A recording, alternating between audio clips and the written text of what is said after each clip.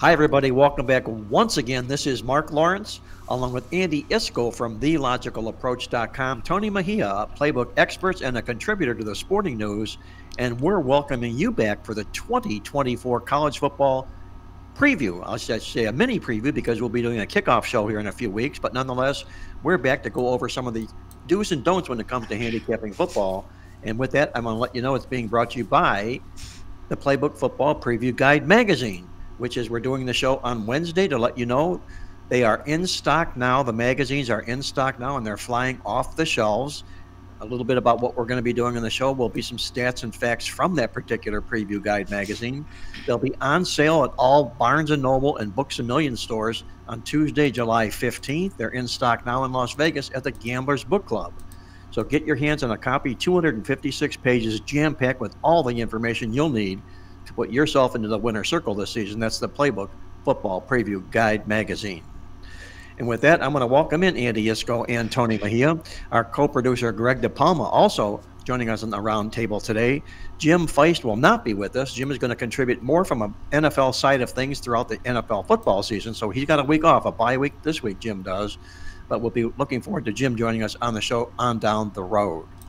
With that, Andy, I know it's rather sultry, you're telling me, in Las Vegas these days. Tony and I are Floridians. We're down here in Florida where it's always kind of warm and steamy, but I understand you topping us right now. Yes, Marc. Uh, sultry occurred at about 5 a.m. this morning when it was wow. about 99. Uh, right now, we are at about 112, just past noon Pacific time. We are on our way up to a projected high today of about 117 which had been the record temperature for Las Vegas until this past Sunday when we blew past that record, hit 120. And that may not be the last time this week that we see 120. It's unusually warm for this time of the year. Uh, thank goodness that every place has air conditioning and every place has swimming pools. And uh, I am fully loaded for my uh, hydration break at the bottom of the hour. Well, like everybody in Las Vegas likes to say, Andy, but at least it's a dry heat. Uh, Tony and I suffer from a little bit of humidity when it gets warm down here. So at least you have the comfort, if it's comfortable at 120 degrees, of having as, comfort, as comfortable as one could be at that uh, temperature. Yes. as it can possibly be. Tony Mejia, welcome back, bud. I hope you've had a good off season here, and I want to thank you very much for your contribution in this year's Playbook Football Preview Guide magazine. Tony brought us up to speed on a lot of what's happening in the college football transfer portal. That's a must read. You and you pick up a copy. How's your summer been going these days, Tony? It's been pretty busy, Marc. I mean, baseball's been really uh, great all year. I, I, had a lull there for about three weeks where uh, it was hit or miss and mostly miss. But for the for the most part, it's been really solid handicapping uh, baseball, and uh, I recommend first five bets and uh, on the uh, on the unders and if, if, on your sides and full game total overs. So that that's that's been my little secret to success early on, and then soccer's really been keeping me busy at the Euros and and uh, Copa America. So it's been fun doing that, and now we have football on the horizon. So I'm looking forward to the All Star break. While you guys are watching Home Run Derby, I will be setting up with uh, all the magazines, including yours. It's always a staple, so nothing new there, and. Uh, and setting my notes and, and, getting my stuff together, which is a good segue to what we're going to be talking about, I think, uh, first and foremost, and that's uh, do's and don'ts and what we what we kind of look forward to as we start uh, breaking down the season, which is very interesting. And again, we'll, we'll go into all this, but between the transfer portal, NIL, and now there's a new thing that I uh, obviously Vegas is hosting Big 12 Media Day, so I've been I've been keeping tabs on that because UCF is out there, and uh, it's hilarious that somebody from Kansas State goes uh, well, now we have the NCAA football ratings, which is the equivalent of Madden, and everybody's excited about that because it went on hiatus forever due to, to due to the uh, NCAA and NIL stuff, uh, and now it's back. And like Madden ratings, which NFL players obsess over, college football ratings will change from week to week. So somebody actually said, don't know who it was, uh, this is more motivation to play even better, and that is 100% true with kids these days. So while uh, a lot of people are going to be saying, "Wow, once they get paid, I bet you, you know, paid and retired," Uh, that's not going to be the case because they want the, their profile on their video games to be as uh, as exceptional as possible. So that's something added to the cupboard this year. All sorts of ways of people making money these days, especially in the world of sports, college football in particular. What our show is all about this week, this week I should say.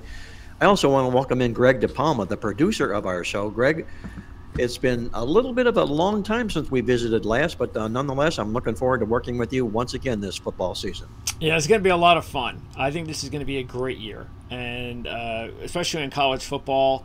Uh, this is going to be a year like no other. I know everybody's going to be confused early on, you know, trying to figure out who's where, and uh, the matchups are going to be incredible too. Uh, you can say what you want about, oh, now with the expanded playoffs, uh, regular season isn't going to matter much okay, well, maybe that'll be the case. I don't know, 10, 15 years from now. But just imagine how much fun we're going to have, and at least for years uh, that I could just look at ahead, where we're going to be getting these matchups that we just don't normally get to see with these uh, power teams, like from the Pac 12 coming to the Big Ten and you know, Big 12 teams, uh, Oklahoma, Texas going to the SEC. It's, it's just going to be every week. There's going to be some really awesome uh, big matchups that we just uh, haven't seen unless we watch bowl games at the end of the year. Uh, so I think uh, that's going to be even uh, more exciting than we've ever seen before. So it's going to be awesome. Well, a lot of news for sports writers out there to feast on this offseason with all the changes happening in the world of college football and getting ready for this year's football season. We're going to talk about some of the best ways to get prepared for this football season. The best way that I do it is uh, a little bit of a self promotion, but nonetheless, it is going right to my Playbook Football Preview Guide magazine because it helps me to familiarize myself with each team with outlines in each and every team. And I'm saying that because I wrote those outlines, so I know exactly what's going on, and it really helped me get a kickstart to the college football season coming up this year. And we're going to do a little roundtable here, and I'm going to ask Andy and Tony and uh, Greg what they look forward to doing and how they get prepared for the 2024 football season. And I'll say this some of the things that I do, uh, one of the things, uh, tools that I use is what I call an RPR, returning production ranking. It's a great guide for getting yourself ready for the football season here. My good friend Bill Connelly from ESPN put these numbers together. He devised them. And basically, what they are in a nutshell is the amount of returning production of football teams brings back last year from what they had last year. And uh, you, you can look at uh, with all the busyness going on in the college football transfer portal and the returning starters. How do you keep a track of all these things? Well, that's what Bill does. It's exactly what he does, and he has a real, real good handle on doing things just like that. Uh, people like returning starters, but I've fallen more in love with these RPR numbers. And uh, I'll say this: if you follow those RPR numbers last year, and these numbers, by the way, are in and on each team's page in the preview guide magazine. It's a must-go-to look at before you even think about making a wager, your, at least your first wager this football season. Last year, the top four teams in RPR rankings last year. The year before that, before they uh, they soldiered themselves into these top four ranking spots, they were 31 and 22 overall and 22, 26, 22 and 2 to the spread. Now, those four teams, with this wealth of returning production coming back last year, they went 41 and 12 straight up and 30 and 19 to the spread. I'll just tip, uh, give you a little tip of the hand here that Iowa State happens to be the number one returning production ranking team this football season. The bottom four teams last year, on the flip side of this equation, coming into last year, they were 23 and 27 outright and 16 and 30 to the spread. Bill sorted them down, down to the bottom four, and they end up going 10 and 38 straight up, 16, 27, and 1 to the spread excuse me, Marc. I, yeah. I have a, a, question, and sure. I don't know if you've done the work on this, but I'll explain why, where sure. I'm looking at. When you give the records of these teams straight up and against the spread for the top four and the bottom four, yes. have you done a breakdown as to, let's say, over the first six games and the final six games? Because I would think the records for the four teams with the best starters would be early in the season as everything get settled in. And similarly, for the bottom four teams, I would think that the their bad records would be in the first half of the season because they've got more to get accustomed to before the season gets to the midway point. Well, leave it up to AI. A great nugget there, Andy, and that's exactly what the case is. This is a great tool to use to get yourself out of the gate in strong fashion, especially the first four weeks of the month of September. When you're coming back solid, you've got a lot of uh, production behind you everybody knows everybody. These teams get off and they bolt out of the gate. The other way around, they really tend to struggle like a horse left standing at the gate. The team that's going to be likely left standing at the gate this year, according to these rankings, that ranks dead last in college football this year in returning production rankings is Air Force, number 134 in the country. Tell you another thing that I look for when I'm getting ready for the football season is I'll look in the Preview Guide magazine and I'll look at the statistical review of each team to gauge whether or not their cuffs and collars matched last football season. And when I say that, what I'm talking about is meaning did they improve offensively and defensively in the stats, but regress straight up and against the spread to the money? If these football teams did just that, they improved statistically, but they went backwards straight up and against the spread. Those are hidden gem teams because they played a lot better in the field than their money record indicated here. And you can find yourself a handful of good looking teams that way this year. You can sort those out in the magazine. On the flip side, the other way, just flip it around. Teams that uh, also slipped offensively and defensively, but were good to the money last year. They'll come back to the norm this year. So it only makes common sense to look at those teams to revert what they did if they were on the high end and the low end of the of the statistical category. And the third thing that I do uh, is I look at the schedules of each team that they're going to be tackling this football season here. And you look at some teams that are taking on lightweight cupcake-like schedules, and that's based quickly in the in the preview guide magazine. You can see what their opponent's win-loss record was last year, and if you take that for a quick guide, uh, you'll notice that the teams that the team that's fared up against weak teams, you're going to find Florida Atlantic is going to play only two teams that had a winning record last year. Florida Atlantic or FAU, so they should probably be able to capitalize on something like that. Then you go to the flip side, the opposite end of the equation. Teams like Southern Cal, they're going to face of their 12 opponents this year 11 of those teams were in bowl games last football season. That and the fact that they're moving over to the big uh, the big 10 i think it's going to be that'll ultimately end up playing against them. You've also got georgia tech who's going up against 11 bowl teams this year. Florida state their first 10 games are against bowl teams. And we might as well throw in a group of five team old dominion their last 10 games of the season all against bowl teams. And finally before i turn it over to the guys uh, there's one thing that I ferret out and I look for is called mission teams. And th- these have really been a staple in my handicapping library for me. And they make all the sense in the world. Uh, and what you want to do is you want to look for teams that last year did not go bowling after having a streak of three or more years in a row where they were bowlers. So that streak was snapped. They're a mission team. They're back with the mission, back with the vendetta. And you'll find those teams also to be outlined in the Preview Guide magazine. I'll tell you this teams like BYU and Cincinnati, they're both in the Big 12 conference. They're two of the teams that qualify this year. So keep an eye out for the Cougars and the Bearcats. I think they're going to end up making more money than they lose this year. With that, I'm going to turn it back over to Tony Mejia. And Tony, I'm going to ask you, what are some of the things that you're looking at to kickstart your football season? Well, I think I'm going to be, uh, as uh, most you know, non-handicappers, going to sort out my conferences because obviously with the Pac-12 disbanding, we've got teams all over the place.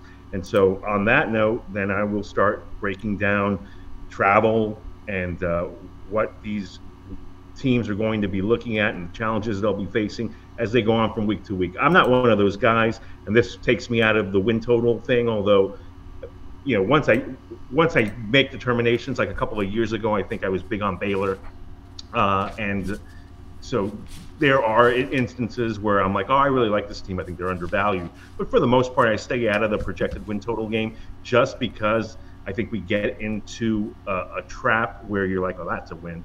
That's a win. Oh, wow, what an easy schedule because obviously from week to week you face injuries. You've got um, you know challenges that you end up, uh, and, we've got upsets. Yeah, and, and and so from that standpoint, I stay away from that. But once once I get all the the conference breakdowns, I look at projected two deeps. I go to uh, beat writers and I start following what's going on in the you know lead up to the season. And and football is great in terms of and more so than basketball, more so than even baseball uh, football is great in allowing access, and even though coaches really don't like to tell you anything, the football beat writers are the, the kings of, of the uh, sports journalism world. Those are the beats that everybody wants. So they're accomplished reporters. They ask good questions. They typically get, uh, you know, camp battles uh, sorted out. So if who's winning the quarterback battle, you ask every day, you kind of see a little cracking of the glass as to who is actually competing it well, and and and then what comes into play is all right. Well, this guy was expected to play a massive role. Such a leader. Somewhere along the way, uh, you know, a coach will say, "Well, this guy's invaluable. He's going to call out the defensive signals," and boom, he gets hurt. And that goes in my notebook as something that I really need to keep an eye out for because in football, it's a battle of attrition over the course of you know 12, 16 weeks.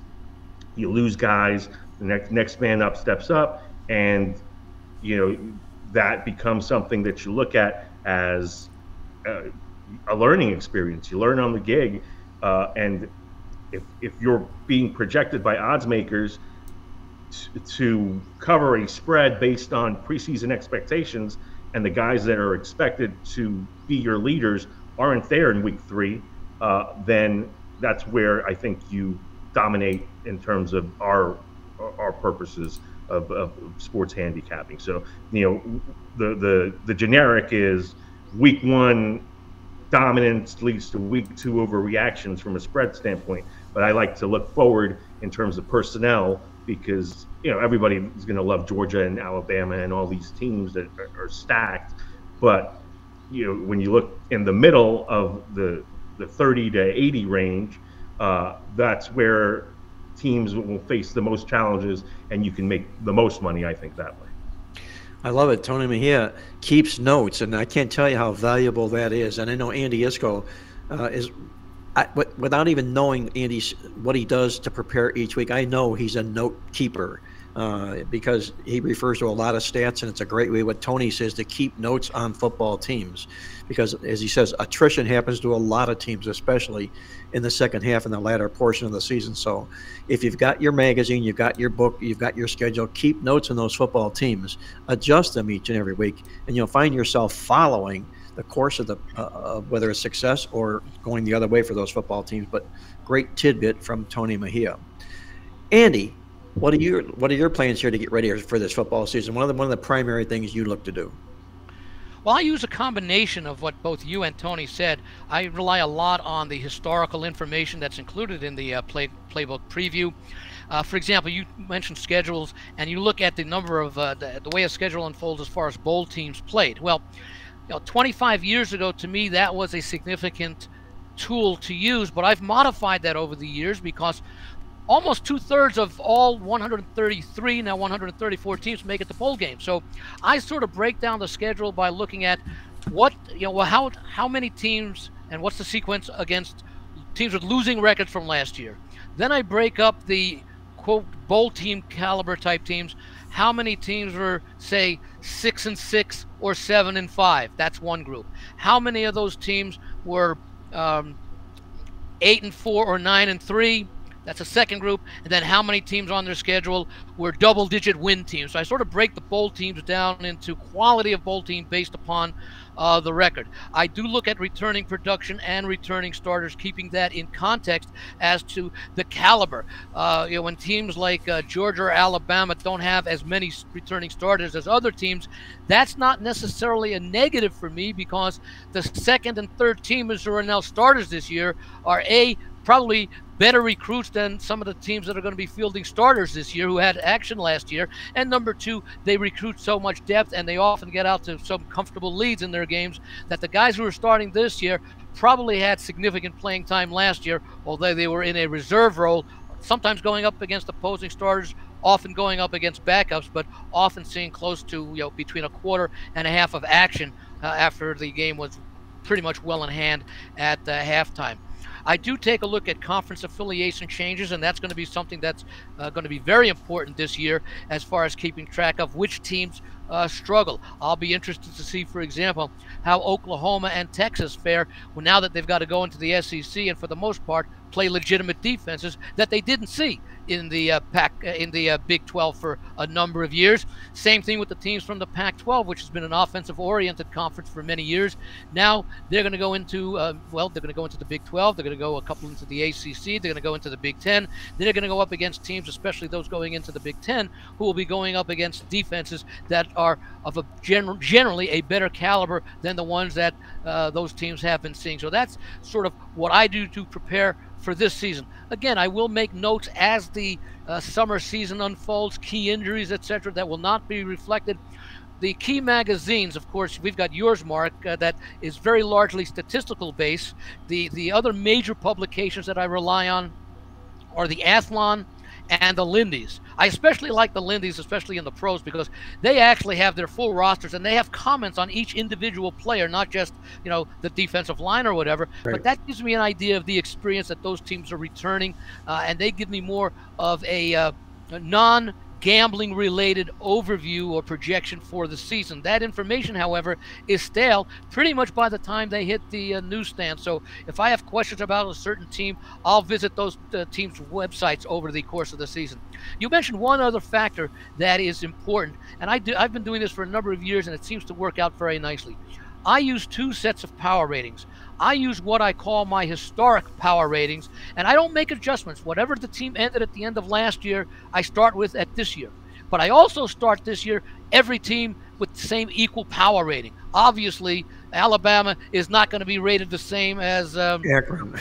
yeah, Akron or Florida right. Atlantic. Right. Usually, it takes three to five, sometimes three to six weeks, however, for the everybody starts equal ratings to catch up the historical ratings as adjusted for the first few weeks of the season. In other words, some teams, even a team like Georgia, may not be as strong as they were last year. I'll still carry over that rating and let that rating adjust itself because I will use more in early season, not so much the power ratings respective to what line they produce, but relative to the quality of team they are. And I'll use scheduling dynamics and, well, like you talked about, returning production, the, the better teams, the weaker teams, and what kind of team they are. I mean, if a team like uh, Illinois returns a lot of starters, that's not the same as if. Um, Florida Atlantic returns a lot, or Air Force. Well, Air Force is the other way around. We, we mentioned, but uh, let's say a Boise State might return a lot of starters. The quality of the program related to the number of starters they return, generally within the conference. However, keep within that within the context that a large of large part of September's schedule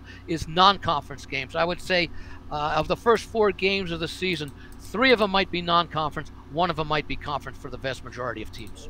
Good points from Andy Iskoe, thelogicalapproach.com in Las Vegas, one of the best football newsletters in the country. I encourage you to check out The Logical Approach weekly football newsletter. Go online now at thelogicalapproach.com. And Greg, Andy mentioned something that, uh, sort of hit a bell with me when he was talking about it. Uh, Texas and Oklahoma moving from the Big 12 into the SEC to see how they fare against a better brand of defensive teams. And uh, you think a person would do well to maybe go back and look at some historical moves that have happened in the past, like Texas A&M moving out of the Big 12 into the SEC, and see how they fared initially in a situation like that? That's a question, but I also want to know what else it is that you're looking to do to get ready for this football season.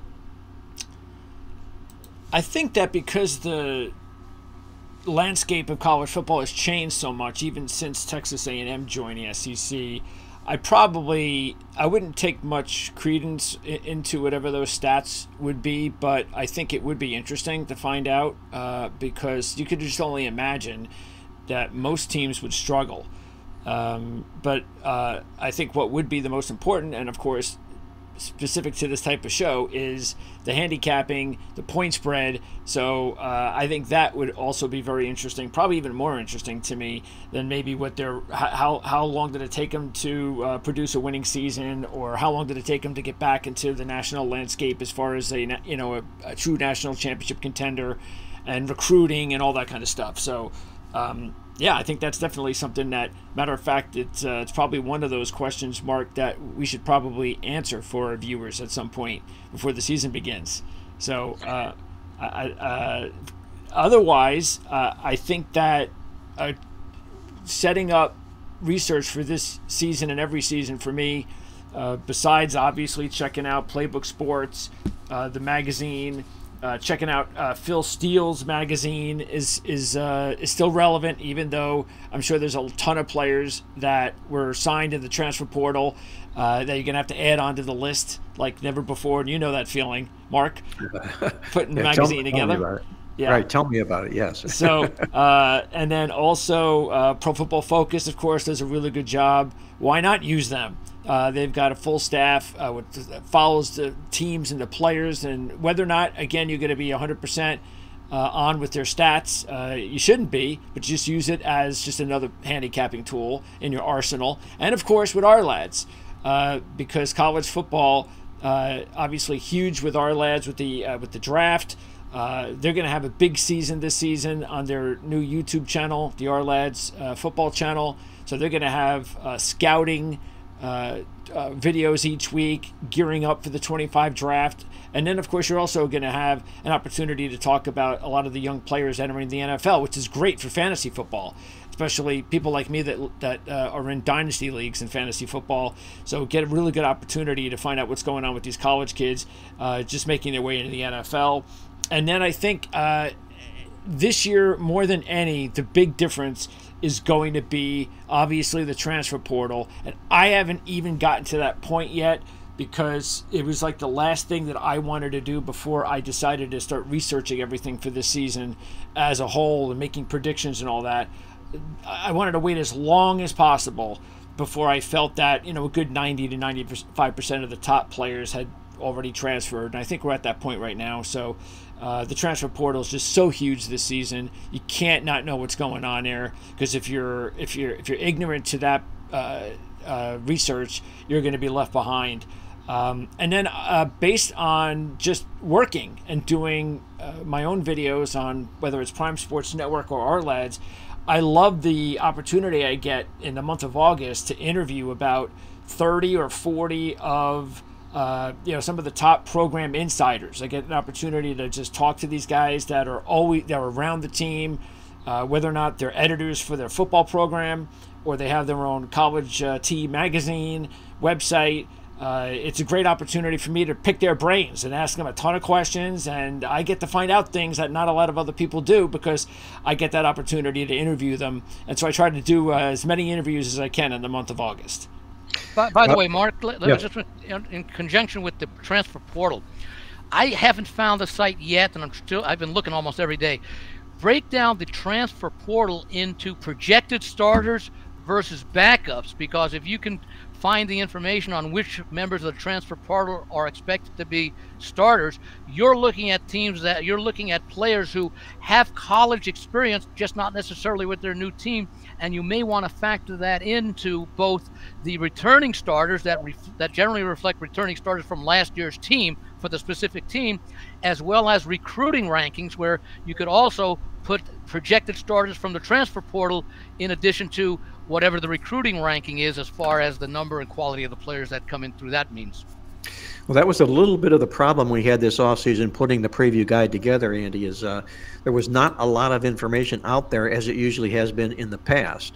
Uh, I was just absolutely livid about the lack of information. You would go to these websites, and it was almost as if the SID, sports information directors, weren't even employed at those schools anymore. They weren't at all uh, favorable about sharing information.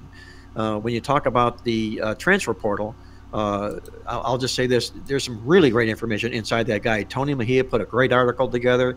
We have a ranking of from 247 Sports of who did who did good and who did bad inside those rankings. But I'll say this: while I don't have, I'm not privy to those answers that you just or, or questions that you just asked, uh, Andy. I do know that uh, Bill Connelly and Phil Steele together, the two of those guys, meld in the transfer portal players into their either returning production rankings or their returning starters as well as anybody in the country. When Phil puts his returning starters together here, uh, you can look at a team. I'll give you an example. You can look at a team that uh, may have had, uh, may have had, may have lost four offensive linemen, uh, but the people that they're bringing in from the transfer portal were starters, were offensive linemen that were starters at other programs, and they figure to start at this school, they will be counted as an offense, uh, as a returning starter. So, you know, there, there's a mathematical formula that they use to do this. I just don't know who the names of those players are, but uh, I would really put a lot of credence in what it is that Phil Steele and Bill Connelly do as far as returning starters and returning production goes.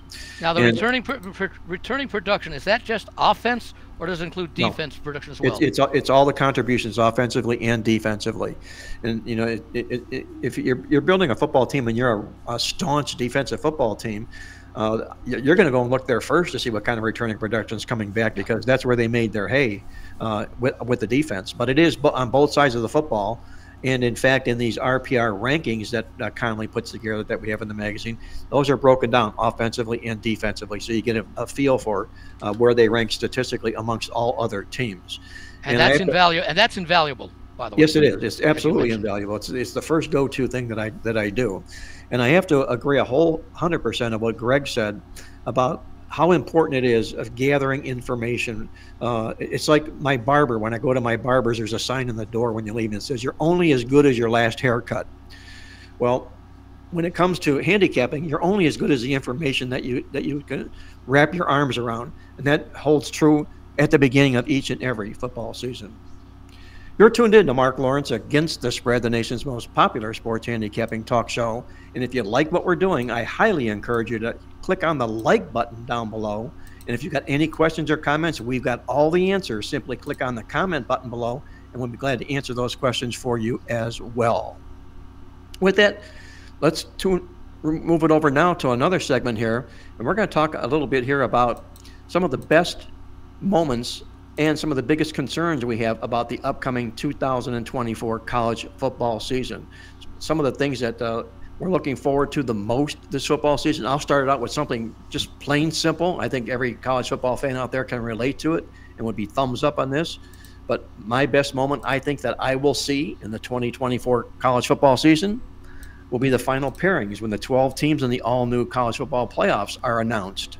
Uh, we, we will finally have made that move and it will be really interesting because there'll be a lot a lot of uh, people joining back and forth about how did this team not get there? How did this team get there? When we only had four teams uh, it wasn't so much conjecture because you're, you're looking for the four best teams in all of college football. Now we're going to be talking about 12 teams here. That's going to open the door to some teams that were maybe on the cusp in years past and will be on the cusp this year. On the flip side of all this my biggest concern for the college football season this year is obviously how the recent merger from the Power Five conferences will play out now that they're known as Power Four conferences. Uh, how will this transition work? You're finding, uh, you know, the, the, demise of the Pac-12 conference, which is an utter shame to have let something like that happen. But nonetheless, most of the teams in that conference found homes, albeit miles and miles and miles away from home. They found new homes. Uh, and I'm concerned here also about how the new NCAA ruling is going to affect schools that is going to allow those schools to pay the players to play. It's going to the upside of that is it's going to do a, a lot away with the transfer portal because they're going to sign contracts to play football at their university. So they won't be hopscotching all around looking for the best bid and so forth and whatnot, at least while they're under contract. And uh, sort of sad to see that coming to college sports because uh, it makes you wonder where amateur sports is headed today. I think it's right down the drain.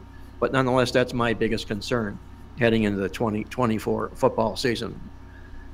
Tony, what's your thoughts and concerns? What are you looking forward to the most, or what do you see the best thing happening this football season, and what's your biggest concern? Well, um, best moment for me coming up August 29th, first uh, kickoff, FBC Mortgage Stadium against uh, where Chip Kelly made his name, UCF against New Hampshire. Because that Hampshire, means, yeah, yeah, that means to me that uh, the season is here. But uh, for everybody else's purposes, I'm really looking forward to, and this is in September, uh, Alabama with you know, new era, Kalen DeBoer hosting Georgia, and it is hosting, right? Yes, hosting them after playing Wisconsin, and you know, at, at, Camp Randall. And that's going to be tremendous because it's it's going to either say going forward we're going to see a brand new Alabama that we don't have to treat with as much respect, or damn, you know, uh, DeBoer is going to pick up right where Nick Saban left off, and uh, and we'll see how Georgia itself uh, handles that challenge. To uh, to to me, they're the number one team going into this, bar none. I know a lot of other uh, people like Ohio State's talent. They, to me, have to prove it on the field. I like everything about Georgia right now: the depth, uh, the continuity, whatnot. So that's that. That to me is going to be a proving ground, and then we'll we'll see how the, things unfold. Obviously, you know, you went to the end of the season, and that's going to be tremendous seeing the, the you know 12 team playoff.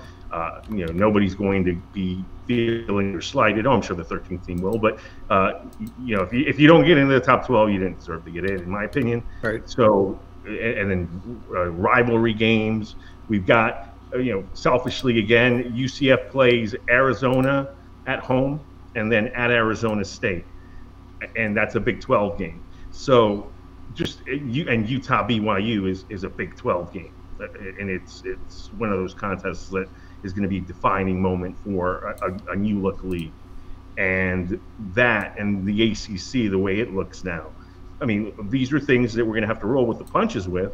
But I'm I'm really thrilled that we're going to get to, and hopefully, my biggest concern, I guess, lies in with that. Hopefully, it's not something that's like a shiny new coin that you're like, oh, this sucks.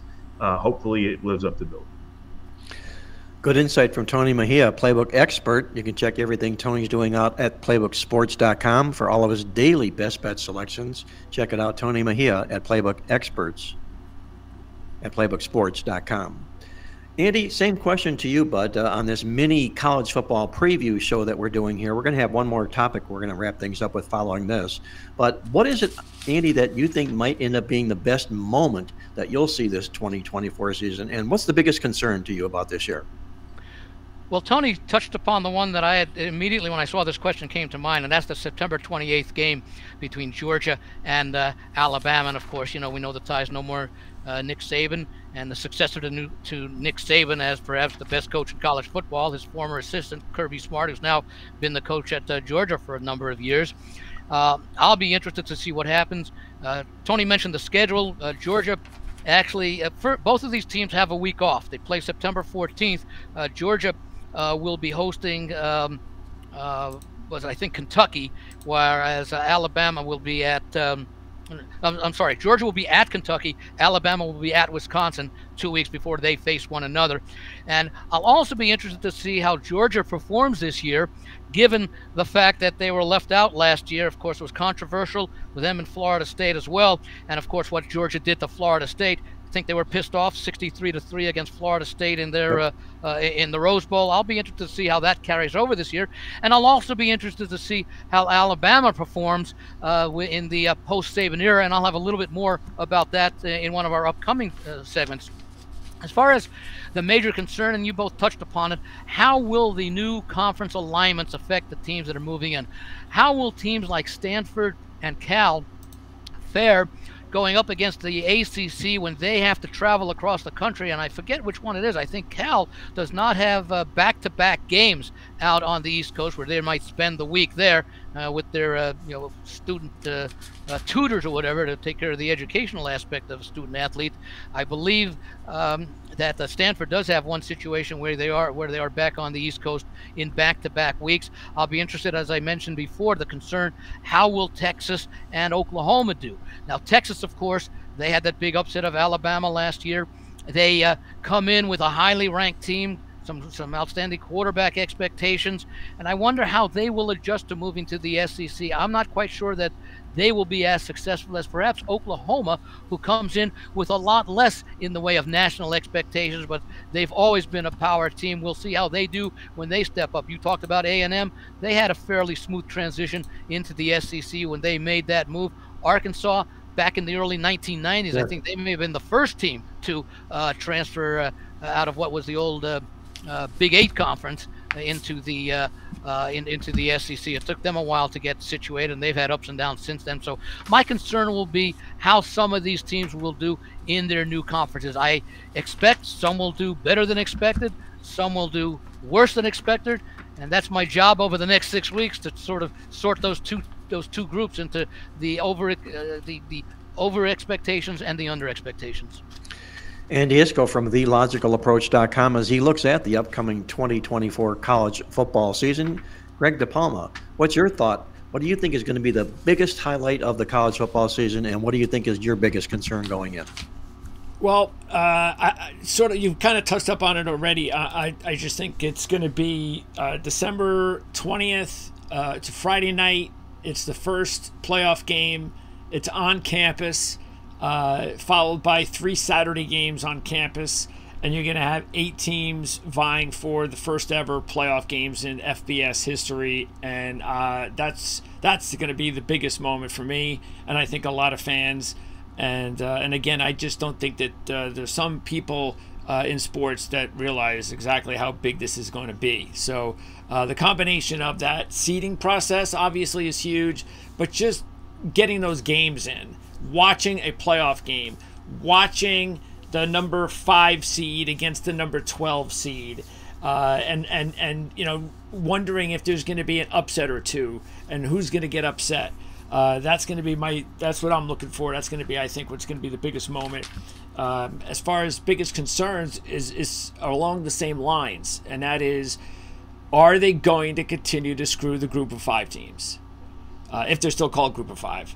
Um, you know so if boise state uh, has a big season what are they going to do uh, and then some of those other schools uh, that Memphis, right Yes. So how, what are they going to do? Uh, that's I, I, we we're just gonna I'm just gonna keep my fingers crossed and hope that they don't get screwed uh, because uh, even though I, I agree with Tony 100% on it. Look, if you're the 13th team, uh, you have nothing to complain about. Nobody cares, and I completely agree. But that 13th team better not be some really good group of five team.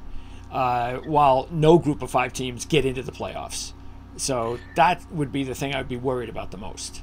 Point well taken. Uh, I would say this that whoever that number 13 team is, we're doing the 2025 mini college football preview. It would probably be the answer to a trivia question Who was the number 13 team the previous year? Nobody knows, nobody cares if you don't hmm. make the college football playoff, unless, as Greg says, it happened to have been a group of five football team. And with that, I want to remind everybody here that this show is being brought to you by the 2024 Playbook Football Preview Guide magazine. They're in stock now at our offices. You can log on at playbooksports.com. They're also in stock at the Gamblers Bookstore in Las Vegas. They do a terrific job with these magazines each and every year. They sold out two years in a row, and they've also come back for more each of the previous two years. So if you're in Vegas, you want to get out there before they do sell out. And as you mentioned, they will be on sale at Barnes & Noble Books A Million bookstores on Tuesday, July 15th. Our final closing thoughts on this show here, guys, is uh, I want to ask each of each of uh, you guys here two questions. Number one, which major surprise team makes the college football playoff this year? And the other one will be which major college football team does not surprisingly make the college football playoff this year? I'll start it off here and I'll hand it uh, off as we go, as we move forward here. I'll hand it off to Andy Iskoe. Uh, the college football team that I think will be the surprise team this football season I'm going to ride the Matt Rhule train, I should say, Matt Rhule train this football season and look for Nebraska to finally break on through to the other side after seven losing years in a row. And if you look at Matt Rhule's uh, DNA, this is all about what he does. He takes football teams that have been struggling, he takes over those programs, and by year three, he turns them from losers to winners. He's in year three at Nebraska.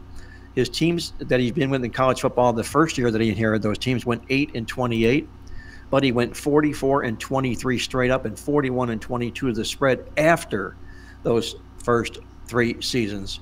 Look for Nebraska to make their breakthrough this football season. I'm not going to go so far as to say they'll make the playoffs, but I think they're going to be a nice surprise football team.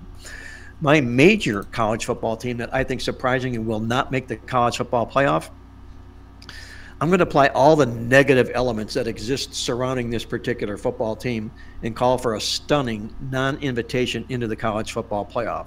This team brings only three starters back from last year. They suffered the second most penalties in all of college football last year. They ranked 125th in the country in returning production, so they're light on that side of the scale. They're also bringing in a new head coach who, the last time when he was a new head coach at a new program, his team won one football game. I think this team changing conferences is not going to make the college football playoff, and my vote is going to be to play against and fade the Washington Huskies this year. I don't think going into the Pac 10, or actually the Big 10 this year, after coming oh so close last year, is going to serve this team well. Those are my little observations and views uh, as I see it coming up here. Andy, or I should say, Tony, What are your major college football surprise team and disappointing teams this year? Well, I think it's going to come out of the Big 12. I'm hoping it's going to be UCF. KJ Jefferson's the quarterback. Gus Malzahn says Homer. the closest thing he's had to. to I love it. Damn you! Oh well, no, but, but, but let me finish. Let me finish. No, you, you, no that was a good start with Jefferson. That was a good start. Yes. Definitely. Yes. But I don't think it will be us. I don't think it will be the Knights. I do expect it to be somebody like a Kansas. Oh yeah. You have, yeah, I mean, you, you have a, a Jalon Daniels who is going to be in the Heisman talk. Uh, you you got a surprise potential team in Oklahoma State because they're loaded with with talent. I just think it's going to be one of these teams that haven't had a, a ton of success, although the Cowboys have reached Big 12 championships and whatnot. But uh, because of the new look conferences are going to be having an opportunity and, and the, the expansion, are going to be having an opportunity to climb to those biggest stages.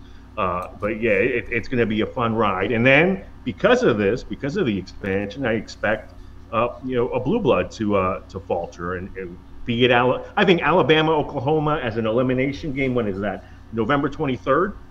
That, yeah. that, that, that's going to be my game.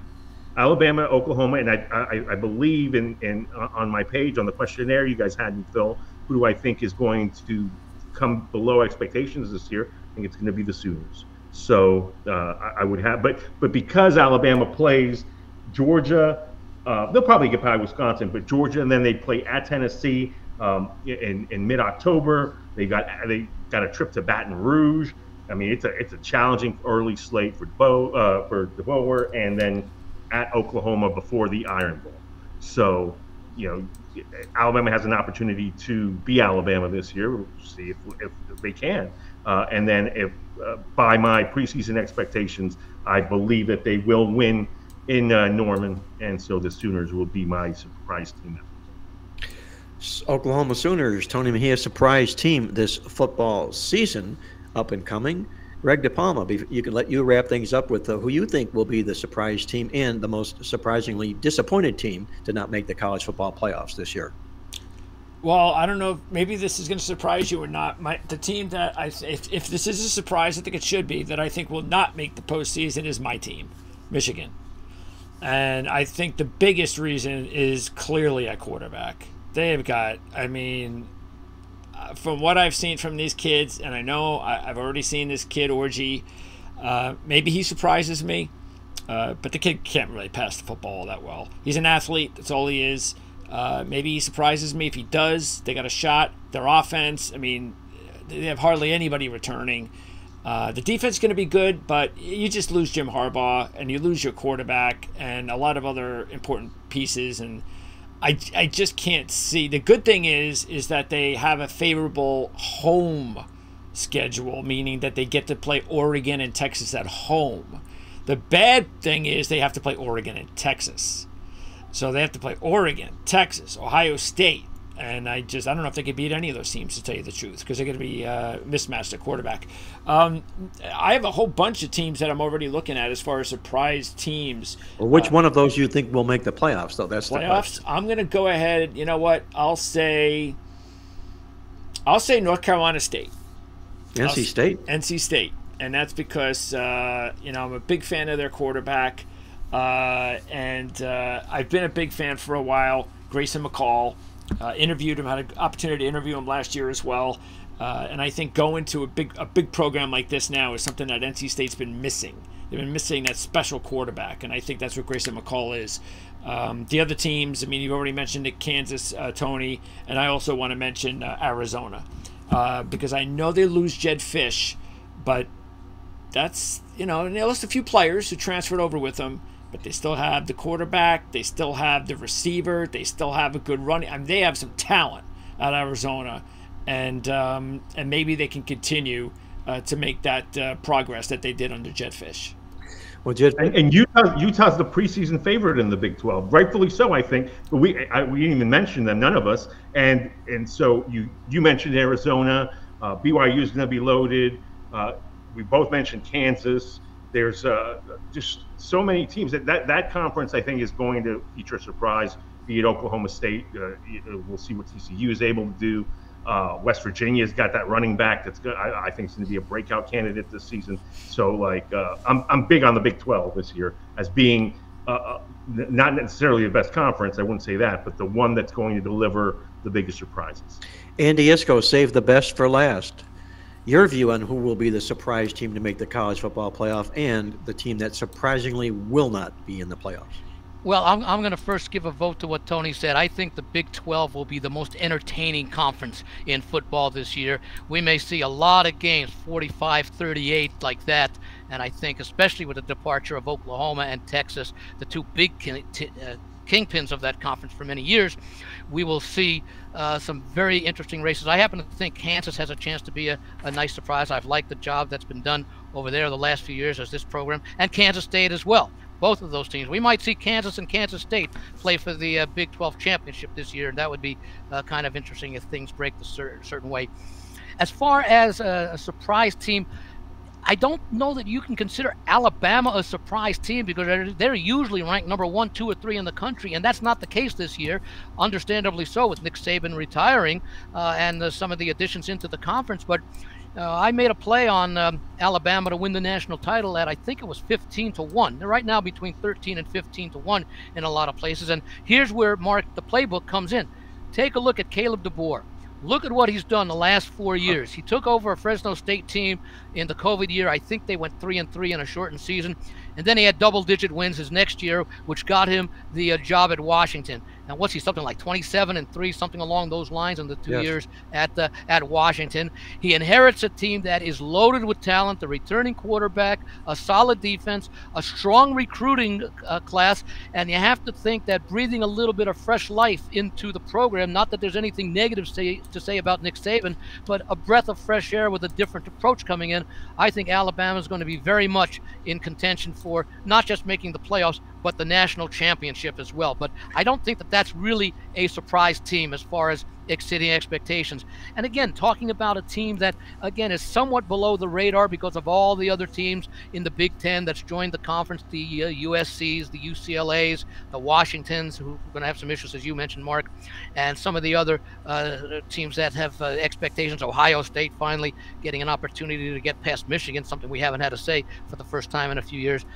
James Franklin has done a fine job since he's been at Penn State. I wouldn't be surprised if Penn State uh, makes it in with uh, a ranking five through eight as far as the five through eight seeds go. I expect a good year out of uh, uh Penn State. As far as a team that um, may take a fall, and I'm looking forward to this game, Texas has those great expectations, and I will say that if they lose their season-ending game, to their biggest rival for many, many years, Texas A&M. Now that they are both members of the SEC, that may cost Texas an opportunity to make the college football playoffs. Tony, let me ask you: Can we give Andy a pass or a flyer on including Penn State and Alabama as possible surprise teams? It's, it's a preseason. Alabama, Alabama, no, no pass there because they're Alabama. Penn State, yeah, we'll get, give them a pass because everybody hates James Franklin. It's a big game. Uh, you know, big game record. So for, from that, that's a little ballsy. We'll give them that. We'll we'll give them Penn State as a surprise team. The thumbs up, thumbs down on Alabama because DeBoer is a heck of a coach, and they, they always are in top the recruiting. The, the only question, the only retort I'll have to that is when is the last time you saw Alabama at double-digit odds to win the national championship? You no, have to pro- you probably have to go back to Saban's first or second year. Well, well that's right. yeah, and, and, and, the schedule is going to be super tough. I, I agree there, but out of those two, uh, definitely. Oh, Penn I mean, State's definitely the the longer shot, the more on the le- the less likely of the two. Uh, by the yep. way, you did mention Andy, and this is something that we're going to update on a weekly basis. So, Andy, you, are saying is that the only big future play that you've made so yes, far? The only the only future play. I've not done any season win totals yet, uh, but I'm sure before we do our college preview show, I will have made several of those, whether it be futures.